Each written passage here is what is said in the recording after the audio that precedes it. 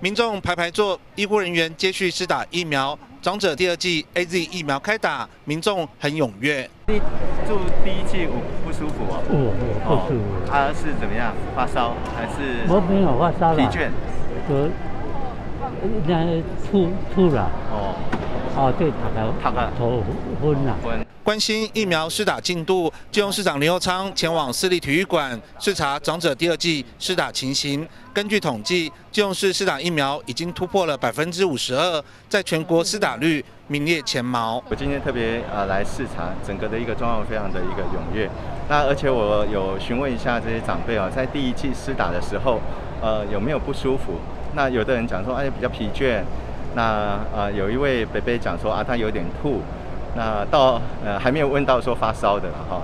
那所以还是特别提醒我们这些长辈哦，那个打完疫苗之后啊，还是要注意啊这个呃施打之后的一个状况。那整个的一个施打的秩序啊，非常的好。那我们金融市跟其他县市可能有一点不一样，我们是从昨天十五号，然后今天十六，明天十七号，呃我们在开打的第一日，我们就呃执行这个集中施打的这样的一个做法。那这也会让呃这个要打的这些长辈哦，在这三天啊，绝大多数大概九成以上，大概全部都可以打完。针对台大医院通过莫德纳疫苗混打高端疫苗临床试验，中央疫情指挥中心审核中，混打与否引起了民众关注。林佑昌这么说：，像混打的问题是非常专业哦，这应该尊重呃这个医学或者医疗专家的一个建议哦。那我在这边也不方便置评。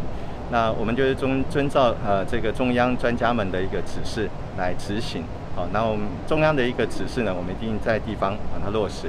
基隆市也公布七十五岁以上长辈施打 A Z 第二剂成果，因为长辈都十分踊跃，让首日的施打率达到百分之九十点一。记者黄少明基隆报道。